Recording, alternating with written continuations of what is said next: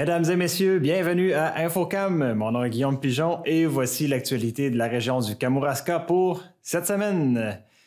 En premier lieu, j'ai rencontré Mélanie Dumont de la CDC du Kamouraska qui nous parle de la banque de photos communautaires qu'ils ont organisée pour les membres de cet organisme.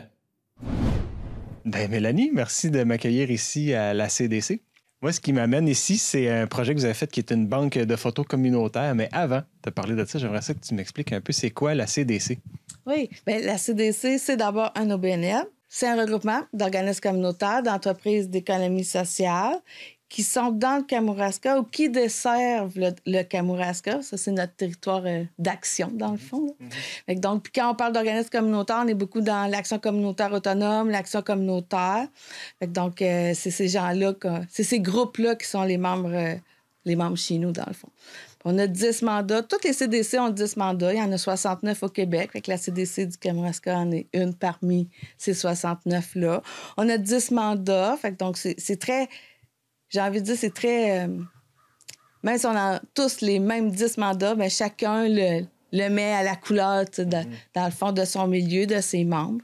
Fait que donc, euh, c'est ça. 10 mandats, puis ça, là, je les nommerai pas tous, mais rapidement, on a tout ce qui est l'information, la concertation, la mobilisation, le, j'ai envie de te dire, la, la, promotion du milieu aussi mm-hmm. dans notre milieu plus euh, économique aussi, puis sociaux, puis tu sais, de faire connaître ces, organismes-là, leur donner un, coup de main, défendre, les défendre aussi.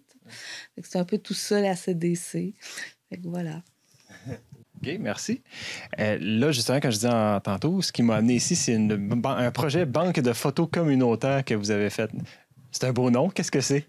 Bien, merci pour pour le nom. Euh, euh, ben, dans le fond, c'est un projet qui... Parce que même avant que la CDC existe, il faut comprendre qu'il y avait la table de concertation des organismes communautaires du Kamouraska, la TOC, pour ceux qui, la connaissent. donc, euh, c'est ce qui a fait naître la CDC. on avait déjà des contacts avec les organismes qui étaient membres on cherche toujours c'est quoi les projets qu'on va faire, euh, de quoi vous avez besoin. ça, ça revenait souvent d'avoir des images qui nous représentent, qui représentent le milieu, parce que souvent, dans, que ce soit dans nos médias sociaux, notre site Internet, nos rapports qu'on fait, mm-hmm. bien, souvent, on va chercher des photos ici et là, euh, qu'on croise les doigts qui sont libres de droit. Là. Euh, fait que là, c'est ça que s'est mis à mijoter, à dire, ben, crème, pourquoi on ne travaille pas justement ce, ce volet-là? Fait qu'on est, nous, on a 32 membres. qu'on a ouvert la porte aux gens, à nos organismes, en disant ben, qui va embarquer dans ce projet-là? On a cherché la photo, un, une photographe. On est arrivé, euh, on a finalement arrêté notre choix sur, euh, Audrey Mingui. Euh, Marie-Ève, qui est agente de développement ici à la CDC, est partie avec ça, le petit paquet, puis Audrey, puis ils sont, sont partis. On a une vingtaine de membres qui ont participé à ce projet-là ces photos-là, est-ce qu'ils sont accessibles euh, au public, disons? Non, ils sont propres à nos membres. À la base, c'est vraiment pour eux, pour qu'ils les utilisent dans leur, euh, dans leur publication, leur rapport, pour qu'il y ait des images aussi. Euh, on, a, on, a, des groupes qui ont décidé d'en profiter pour aussi se faire des, des photos d'équipe, ah des, photos de, plus professionnelles, dans le fond, d'eux. Fait que c'est c'est comme, c'est vraiment pour eux. Là. Fait que l'objectif, dans le fond, c'était de permettre à, comme, à, tous les organismes qui aident ceux qui aident, c'est ça que vous avez dit tantôt, d'avoir des banques d'images de qualité, c'est bien ça. Ben oui, puis tu sais, d'avoir quelque chose qui les ressemble, qui les représente aussi, parce que chacun son... Tu sais, ils travaillent tous pour le, le, bien commun, que, notre, notre communauté aille mieux, mais comment on le représente, ça, tu sais? Mm. Puis ils travaillent pour le, un même but, mais ils sont tous différents. Fait comment arriver à, à, faire ressortir ça, leur propre identité, dans le fond. je pense qu'on a réussi. Bravo. je trouve très bonne. on a des très bons commentaires de nos membres aussi, parce que on se le cachera pas. Là. C'est pas tout le monde qui est à l'aise de, de, faire des photos. Puis, tu sais, je pense qu'Audrey était bonne, est bonne photographe, mais était bonne aussi dans le contact Fait que les gens, ils se sentaient à l'aise, puis je pense que c'était moins pire pour plusieurs que ce qu'ils pouvaient penser. ils sont quand même contents du résultat. Fait que ça, c'est ça qui est, qui est le fun là-dedans. Ben oui. C'est un peu l'art d'un photographe de mettre les gens à l'aise. Exactement, mais des fois, il y en a des, plus résistants. Et là, je me pose une question moi-même devant la grosse caméra qui est là. Es-tu à l'aise? Moyen. mais moyen, mais euh, ça revient vite. Ça revient vite, là, mais moyen. Bélanie, je te remercie beaucoup pour ton temps puis je te souhaite euh, bonne continuité avec la CDC. Bien, merci. Via la magie de l'Internet, j'ai discuté avec M. Ronald Arsenault de la Fondation communautaire Bas-Saint-Laurent-Gaspésie-les-Îles avec lui, j'ai parlé entre autres des, du pouvoir de la philanthropie et également de certains séminaires qui sont organisés afin de faire connaître aux gens les, les possibilités qui leur sont offertes à ce niveau-là. on est beau, on est propre. Donc, euh, ben, Monsieur Ronald Arsenault, vous êtes vous directeur général de, de la Fondation communautaire Bas-Saint-Laurent-Gaspésie-les-Îles. Merci d'être avec nous. Ça me fait plaisir on va discuter ensemble philanthropie. Euh, j'aimerais ça que vous me dites en fait c'est quoi la philanthropie, puis en même temps nous faire un portrait un peu de la situation de, la philanthropie ici au Bas-Saint-Laurent. Bien, la philanthropie, tu sais, euh, dans l'imaginaire des gens, la philanthropie, c'est beaucoup euh, des, hommes riches, millionnaires qui vont donner à des causes, etc. Mais moi, à mes yeux, la philanthropie, parce qu'on analyse l'origine du mot, c'est dans le fond, c'est se préoccuper des autres. Mm-hmm. Pour moi, la philanthropie, c'est justement développer dans chacun de, nos concitoyens cette fibre-là de ne pas juste penser à soi, mais penser à sa communauté, à sa collectivité, aux enjeux que nos, voisins peuvent vivre, etc. Pour moi, la philanthropie, c'est ça. Puis c'est aussi euh, une façon en tant que communauté de se prendre en main. Parce que quand on dépend de, de, choses qui sont à l'extérieur de notre territoire, tout ça, ben, on, est dépendant. Tandis que si on développe la, la, possibilité de, de, prendre action, de, de, régler des enjeux, pour moi, c'est aussi, aussi ça, la philanthropie.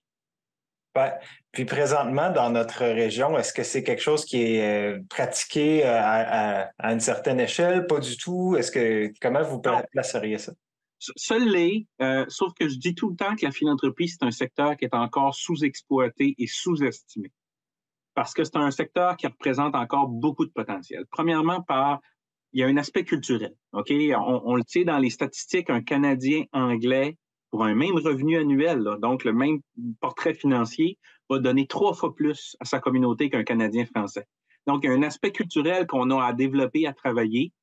Il y a aussi une méconnaissance des outils, parce qu'il existe plein d'outils à notre portée qui nous permet en tant que citoyen, de, de, de, poser un geste philanthropique parce que je reviens à la réflexion d'imaginaire. Tu sais, beaucoup vont dire j'ai pas les moyens de donner, etc. Mais c'est pas vrai.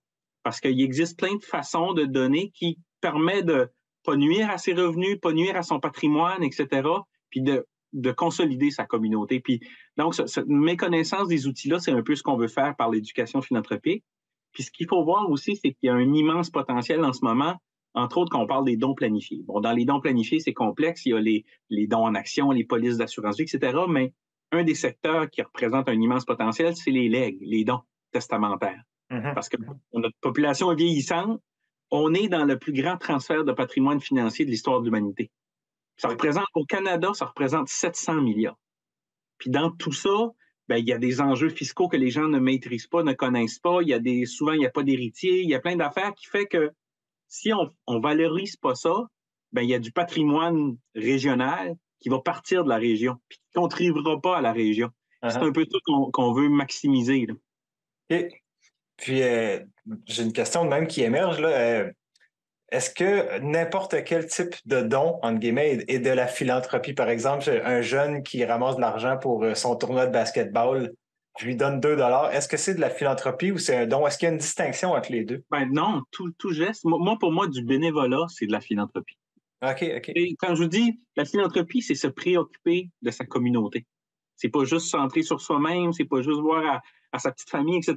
Parce que faut voir qu'on fait partie d'une communauté, puis c'est important parce que euh, nos, enfants vont vivre dans cette communauté-là, vont avoir des services, vont, il va y avoir des situations familiales, des fois que des enjeux de santé mentale, des enjeux financiers ou, d'autres enjeux qu'on a besoin des services que la communauté a pu consolider. Fait que tout geste est, à mon avis, de la philanthropie.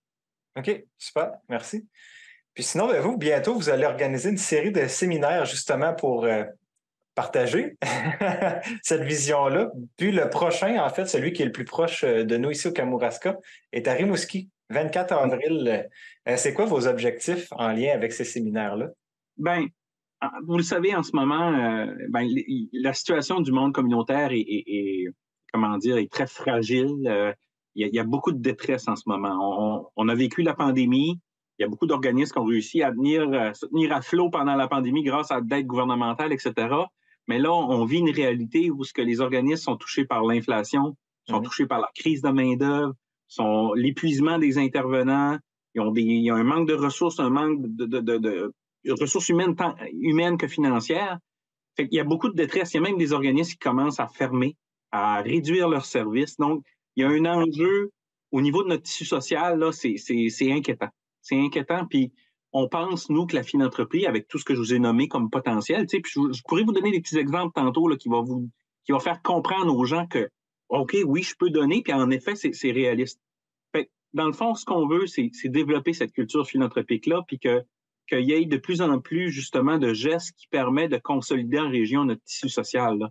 On, on, trouve que c'est vraiment important. Donc, la tenue de ces séminaires-là, va permettre de réunir les professionnels du milieu, donc les notaires, les, comptables, les conseillers financiers qui offrent des services aux gens, d'évaluer un peu le patrimoine, de, faire les, les, impôts, etc., mais aussi les organismes communautaires qui vivent des enjeux et les citoyens qui désirent être plus conscientisés sur la philanthropie pour permettre justement de créer une étincelle, créer une synergie qui va permettre cette culture philanthropique-là de se développer. Et, et vous me parliez d'exemples, je serais curieux d'en entendre quelques-uns. Ben, tout à fait. Un, un exemple que j'aime bien donner, parce que quand, je vous dis, il y a beaucoup de réflexes de dire j'ai pas les moyens de donner, puis ouais, ouais. en premier lieu, c'est ma famille, mais ce qu'on, beaucoup de comptables vont, vont vous dire, quand à force d'étudier des dossiers, que c'est possible de donner 5 à 10% de son patrimoine sans nuire à son patrimoine. OK? Puis je vous donne un exemple concret. Moi, exemple, j'ai, j'ai un chalet que j'ai construit sur le bord de la rivière, ici, là, dans mon coin. Euh, bon, je l'ai construit moi-même, ça m'a coûté pas trop cher, donc il est évalué peut-être à 40 000 Fait que moi, dans mon testament, sans trop y penser, puis souvent, c'est ça, on est occupé, on n'a pas le temps de planifier comme il faut son, son, transfert de patrimoine. Il est là l'enjeu. On réfléchit pas trop, on se dit, bon, ben, le chalet, je vais le léguer à ma fille. Sauf que quand il va avoir le transfert de patrimoine, ma fille va se retrouver avec le chalet, mais il va devoir avoir une évaluation marchande du bien parce qu'elle se fait transférer un bien immobilier, fait que là, le comptable va évaluer. Puis s'il est évalué maintenant, à ce moment-là, je suis allé à 150 000. Euh... Va trouver avec un gain. Lui, elle, dans son rapport d'impôt, va avoir un gain de revenu de, de 110 000. Ouais. Fait que si elle se retrouve avec un revenu de plus de 110 000, il faut qu'elle paye de l'impôt là-dessus, puis elle n'a pas les moyens. Peut-être qu'elle va être obligée de vendre le chalet. Donc, moi, mon patrimoine que j'ai voulu conserver dans ma famille, il va être perdu. Donc, si je l'ai bien planifié, puis j'ai dit, bon, ben, je vais planifier un don dans, à ma communauté à travers ce transfert de patrimoine-là qui peut représenter 5, 10% 15% du patrimoine. Puis ça va permettre à ma fille d'avoir le chalet sans payer d'impôts. Donc, je viens conserver le patrimoine familial, puis en même temps, je contribue au patrimoine collectif parce que j'ai aidé ma communauté à se consolider. C'est un exemple, mais il y en a plein d'autres qui permettent justement de démystifier tout ça. Là. Et pour aider une personne qui aimerait justement euh, intégrer ça, que ce soit dans ses legs testamentaires ou, dans son quotidien, peu importe. Est-ce qu'un organisme comme le vôtre serait la ressource euh, priorisée ou même un notaire en... en, non, c'est sûr. C'est un peu la mission qu'on s'est donnée par la, réalisation des séminaires. On veut former davantage les professionnels du milieu, les notaires, les comptables. On va offrir dans le, le séminaire, il va y avoir une formation accréditée sur les dons planifiés. Donc, une formation qui donne des crédits parce que la plupart de ces professionnels-là, annuellement, doivent suivre des formations via leur ordre professionnel, puis ils ont comme une obligation. Cette formation-là va compter comme une, comme une formation accréditée. Donc, c'est une formation qui va permettre de mieux les former pour justement mieux conseiller les, les, les gens dans leur testament, dans leur impôt, etc. Donc, c'est un peu ça qu'on veut faire. Ben, c'est vraiment très intéressant, euh, M. Arsenault, franchement. Avant de quitter, voudriez-vous nous rappeler euh, le prochain séminaire qui est euh, pas loin de notre, région ici, le, plus près du Kamouraska, la date, le lieu, etc. Oui. Ça, je tiens à le dire. Écoutez, euh, le projet de séminaire, parce que nous, on est issus, la Fondation communautaire, c'est une initiative qui a été démarrée en Gaspésie. dans les années 90, il y avait eu un ralliement Madelino-Gaspésien pour essayer de trouver des enjeux à, l'exode rural, à la situation économique où le chômage était élevé. Puis mhm. c'est là que des, gens ont pris en main et ont créé la fondation communautaire Gaspésie-les-Îles. Puis euh, on avait l'idée de ces séminaires-là avant la pandémie pendant la pandémie, bon, il s'est passé plein de choses, puis on est devenu la Fondation Bas-Saint-Laurent Gaspésie-les-Îles parce qu'on a étendu notre territoire parce qu'il n'y avait pas de fondation communautaire au Bas-Saint-Laurent. Mm-hmm. Puis mm-hmm. l'idée, c'est de, c'est un outil de développement régional, la Fondation. Là. Donc, on veut contribuer à toute l'Est du Québec à se, rendre plus autonome et résilient. Moi, j'aime beaucoup dire ça. Oui. Et dans le fond, c'est pour ça que là, c'est tout nouveau Bas-Saint-Laurent. On a, en Gaspésie, on a trois séminaires, mais là, au Bas-Saint-Laurent, pour des raisons financières et logistiques, on a commencé par Rimouski. Donc, ça va être le 24 avril à Rimouski, ce qui n'empêche pas que dans nos plans, peut-être que dans les années prochaines, on aimerait ça étendre le plus possible là, à l'est et à l'ouest du Bas-Saint-Laurent. Oui. Ben, c'est vraiment louable. Merci. plaisir.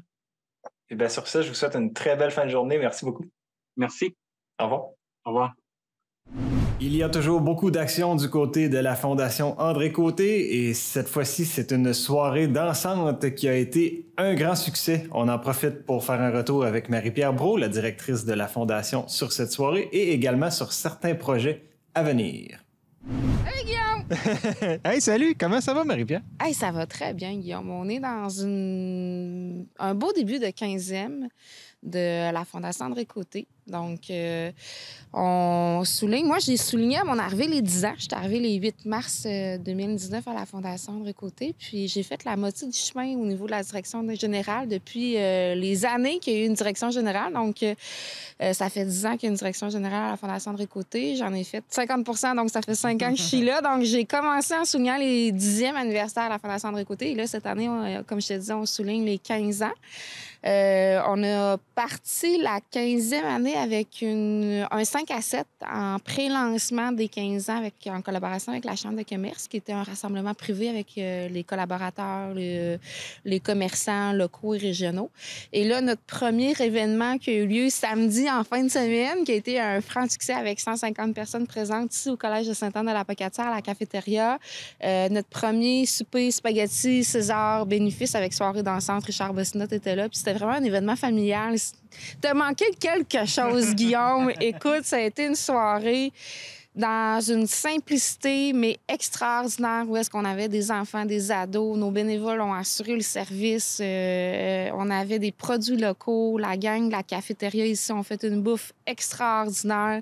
Ça dansé comme si rarement j'ai vu. Euh, on a fini la soirée aux alentours de 10h30, 11h. Le lendemain, j'ai eu des textos de « Oh, j'ai mal aux genoux! » Fait que ça, ça bougé fort. On a eu une super de belle soirée là, dernièrement. On est en train de finaliser les, les états financiers, mais des délibérément, on s'attend à voir un 1000 à 1500 dollars d'amasser pour cette soirée-là. Donc, on dit toujours, on, pas on dit toujours, mais on dit déjà autour de moi qu'il va y avoir une deuxième édition, sans même que le conseil d'administration ait euh, mis, mis, euh, mis, cette décision-là. Mais d'emblée, ça a été unanime que ça a été une superbe soirée là, samedi dernier, euh, le 23 mars, pour un premier souper spaghetti bénéfice qui était qui était en, l'honneur de avant la création de la Fondation André Côté. Donc, on avait deux ambassadeurs qui étaient sur place, Denis Beaulieu et Gaétan Godbout, qui font partie des trois membres fondateurs, euh, à qui aussi on a remis un petit présent pour euh, souligner leurs 15 ans d'implication également avec nous des belles reconnaissances, euh, une estimation 1500 dollars, puis j'ai entendu beaucoup de sourires, c'est ça? Oui, beaucoup de sourires, beaucoup de danse, euh, de la bonne musique avec Richard Bossinette aussi. Donc, euh, ça a été vraiment un, événement, un franc succès dans tout son ensemble. Ça a été une première organisation très rapide, très de dernière minute, mais on pensait pas. moi, je m'étais dit, si on est à 125, ça va déjà être un succès, puis on est arrivé à 150 personnes sur place pour un samedi soir, 23 mars. Euh, avec, euh, on avait une petite tempête aussi cette soirée-là, là, donc on se questionnait si on allait avoir du monde, mais on est très contents et très fiers de cette soirée. Ben, c'est le fun, bravo. Moi, je suis toujours impressionné par l'implication de vos bénévoles. Puis là, ben, j'ai vu que non seulement vous avez des bénévoles, mais des stagiaires aussi en informatique. Là, il y a un curieux à moi qui s'est dit, c'est quoi les projets d'informatique qui se trament présentement pour la Fondation? Euh, les projets d'informatique qui trament pour la Fondation, écoute, on est, euh, on est désuet là, dans, dans, dans nos, euh, dans nos logiciels, dans nos, dans nos inscriptions de données aussi, euh, dans la mise en forme de tout. Donc, l'année dernière, en 2023, on s'est procuré une imprimante Wi-Fi couleur. C'était une nouveauté à la Fondation. Maintenant, on a deux nouveaux portables aussi pour chacun des postes de travail. Donc, tu sais, on, on travaillait encore avec des équipements d'il y a la création de la Fondation André Côté. Donc là, on s'est mis à jour à ce niveau-là. Donc, euh, il y a une mise à jour au niveau des, comme je te disais, de la, du général en informatique. On regarde aussi pour faire la mise à jour du visuel puis du contenu du site web que j'avais fait de, de ma mes connaissances, je veux dire, il y a cinq ans quand je suis arrivée. Donc, il y a des petits mandats ici et là qui ont été euh, transmis à nos deux stagiaires en informatique, Quentin et Rémi, qui sont avec nous cette année, qui proviennent du cégep de la Pocatière. C'est notre deuxième année qu'on a des stagiaires. Et c'est ce qui nous permet de, de nous aider à avancer certains dossiers que soit on n'a pas les connaissances, les compétences, soit encore on n'a pas le temps euh, réellement de s'occuper de ça dans le quotidien. Donc, euh, c'est toujours un plaisir de les accueillir. Là, ils font euh, 10 à 9 à 10 heures par semaine avec nous. Euh, donc, ça nous allège. Là. Puis, tu sais, des fois, ça nous apporte un nouveau questionnement d'un volet qu'on connaît pas ou qu'on réfléchit pas, qu'on se dit, ah, notre tableau est correct, mais il nous apporte un volet ou une simplicité qu'on n'aurait pas pensé. Fait qu'on est très heureux de les avoir avec nous. Ils sont là pour cette session-ci, donc, qui devrait être, euh, d'être là jusqu'au mois de mai. Donc, on espère. euh, Malheureusement, euh, ils nous quittent. À part la suite, souvent, c'est des stagiaires qui viennent de l'extérieur. Donc, l'année passée, on avait eu Molly et Théo aussi qui sont repartis. Molly est au Québec. euh, Théo est reparti en France. Puis Quentin et Rémi m'ont parlé qu'ils retourneraient aussi en France. Donc, on espère l'année prochaine avoir des nouveaux stagiaires. Mais c'est euh, deux, étudiants qui sont impliqués envers la cause puis qui veulent vraiment nous aider. C'est deux étudiants avec un très grand cœur. Penses-tu qu'ils vont retourner en France parce qu'ils n'ont pas eu assez de neige puis ils sont déçus? Ah non, ils trouvent qu'il fait déjà assez froid, sincèrement. Ils ont trouvé l'hiver très froid. On peut comprendre. Euh, une autre chose que j'ai remarqué, c'est que c'est qu'ils commencent à mouiller. Mais aussi, c'est que vous avez un nouveau service qui est la photographie. Ça, je serais curieux de savoir c'est quoi? Oui, on a un nouveau service depuis le 1er avril euh, qui sont les séances de photographie. Donc, c'est deux bénévoles, c'est euh, Diane et Monique, qui toutes les deux, si ma mémoire est bonne, ont travaillé dans le réseau de la santé. Euh, ce sont des retraités et euh, la Fondation André Côté leur, euh, leur tient beaucoup, beaucoup, beaucoup à cœur. Et par leur biais de leur implication, ces deux photographes euh, amateurs slash professionnels, là, parce que quand même, font des excellentes photos. Puis de leur côté, ils voulaient, ils voulaient s'impliquer. Donc, ils nous ont proposé de la possibilité de faire des séances de photographie. C'est de là qu'on a mis ce service-là en, place. L'objectif est de capter des moments, peu importe le stade de la maladie. Exemple, que Guillaume, tu saurais que ton père reçoit un diagnostic de cancer, mais avant qu'il commence ses traitements, puis qu'il a encore sa belle couleur de peau, puis qu'il a encore sa vivacité, que vous voulez capter ça, ben nous, on envoie notre photographe bénévole là où est-ce que ton papa est. Ça peut être des photos individuelles, comme ça peut être des photos familiales. Je te cacherai pas qu'habituellement, les regroupements familiaux sont là euh, pour capter ces moments-là. Et c'est 8 à 10 photos environ qu'on va redonner à la famille avec les droits d'auteur. sont remises sur une clé USB, donc ça appartient vraiment à la famille. Comme ça peut être également des séances photos qui sont en fin de vie. Donc euh, là, encore une fois, nos bénévoles, Diane et Monique, se déplacent soit à l'hôpital en CHSLD ou à résidence, que c'est les derniers jours, dernières heures qui captent ce moment-là. C'est vraiment un souvenir qu'on veut laisser parce qu'on est beaucoup sur nos téléphones, on est beaucoup avec la technologie, on a de moins en moins accès je peux dire, à, à nos souvenirs. Puis c'est ça qu'on voulait, la Fondation André Côté est là pour le réconfort, pour la dignité, pour l'écoute, pour l'entraide. Puis on trouvait que ce service-là, en le mettant sur pied avec deux photographes bénévoles en plus, que la Fondation André Côté leur tient vraiment en cœur, que pour eux, c'est important de redonner dans ce qu'ils aiment faire aussi, puis dans leur approche. Euh, ça apporte un bon aussi aux familles de, tu sais, ils vivent un moment difficile, après ça, ben, ils perdent leurs proches ou la maladie s'ensuit, puis par la suite, ils, ils, re- ils revoient ces photos-là. Et ça remémore encore une fois un souvenir. C'est un peu un clin d'œil aussi avec notre concert des familles que j'imagine que tu vas venir avec nous cette année, 19 octobre 2024. On t'attend à la cathédrale de Saint-Anne-de-la-Pacatière, mais c'est en lien aussi avec ça parce qu'au concert des familles, tu sais, on projette des photos des membres qu'on qu'on a perdus, pas des membres, mais des, des personnes qu'on a perdues, euh, soit d'un cancer, d'une maladie incurable. Puis ça remémore toujours, toujours, toujours des souvenirs de nos proches. Donc, euh, c'est important de mettre ce service-là, tant pour que soit la personne qui est malade ou encore pour le prochain an qui s'est occupé de, de, son proche pour pouvoir le mettre de l'avant.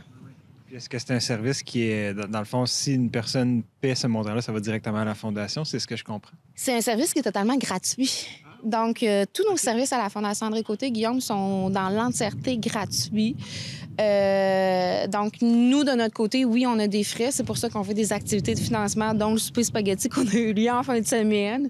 Euh, et l'objectif que nos activités soient gratuites, c'est par volonté du conseil d'administration et lorsque la création a été créée, été ça à la base de la mission. Donc, euh, offrir des services, offrir une gamme de services de euh, réconfort pour les personnes vivant avec un cancer, maladie incurable et également leurs proches. Et le mot gratuit était extrêmement important. Donc, c'est à, à, moi, au niveau de la direction générale, de travailler à ce que les sous entrent à la Fondation de Côté parce que peu importe ton statut, peu importe où est-ce que tu habites dans le Kamouraska, à Saint-Roch-des-Aunais ou Sainte-Louise, le territoire que nous desservons, c'est important que tu aies accès à nous. Puis, tu sais, chez nous, on n'a pas, comme je t'ai déjà dit, on n'a pas de numéro de dossier, c'est des personnes qu'on aide. Ce sont, malgré qu'ils vivent avec une maladie, ils sont tous des personnes différentes avec des besoins différents, qui ont tous besoin d'une humanité, qui ont tous des valeurs. Donc, euh, si, exemple, toi, tu fais appel au service de massothérapie, ça veut pas dire que tu vas vouloir le service de photographie, puis ça, c'est bien correct. Fait qu'on va t'offrir ce que toi, dans tes besoins, qui peut te faire réellement du bien. Euh, fait que oui, c'est un service gratuit qu'on a mis de l'avant qui est offert depuis le 1er avril 2024, comme tous les autres services qui sont là et déjà établis à la Fondation André Côté, qui sont également gratuits depuis qu'ils depuis qu'ils existent. 1er avril 2024, c'est bien ce que tu as dit? Oui, 1er avril 2024. Oui, donc euh, on, le part là, mais je te cacherai pas qu'on a eu quelques demandes avant là, puis on les a acceptées. mais c'était officiellement, on, officiellement, on les a, on, les offre à partir de notre nouvelle année financière qui est le 1er avril 2024, dans le cadre également de notre 15e année de fondation de création. Ben, Marie-Pierre, c'est toujours un plaisir de, parler avec toi et d'entendre ta passion pour la fondation. Merci. Ben, merci à toi, Guillaume. Bonne journée. C'est ce qui complète l'émission d'InfoCam pour cette semaine. J'espère que vous avez apprécié. Si vous avez des questions ou des commentaires, n'hésitez surtout pas à m'écrire à l'adresse presse tvck.org. Ça me fera plaisir de vous répondre. D'ici là, je vous souhaite à tous une très belle semaine et on se revoit la semaine prochaine. Au revoir.